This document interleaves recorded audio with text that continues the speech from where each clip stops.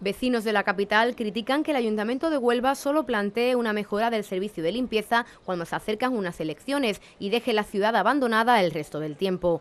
Esta es la reacción de los onubenses después de que el alcalde de Huelva, Pedro Rodríguez, anunciara este martes un nuevo contrato del servicio de limpieza para 2015 de 170 millones de euros, al que calificó como el mayor contrato de la historia. Mm, sospechoso, sospechoso.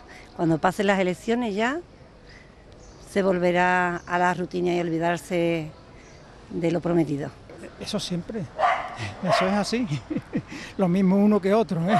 no, es uno solo, son todos iguales.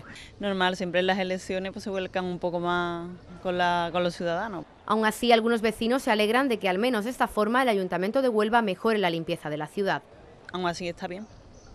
Me da igual las elecciones, lo que, lo, que yo quiero es que, que vuelva a ser una ciudad limpia. A mí sí es mejor, si mejora y eso me parece estupendo, sea para las elecciones o sea para lo normal.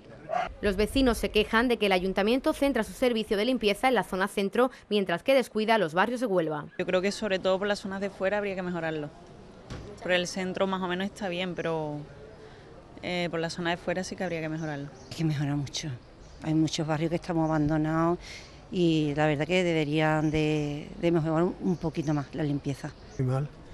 Esto no, no hay forma de que sean capaces de coger y que educar a la gente para que no tire las cosas al suelo. Ante esta situación, vecinos de Huelva reclaman que realmente cumpla esta propuesta y mejore y mantenga la limpieza de la ciudad de Huelva, no solo en periodo previo a unos comicios.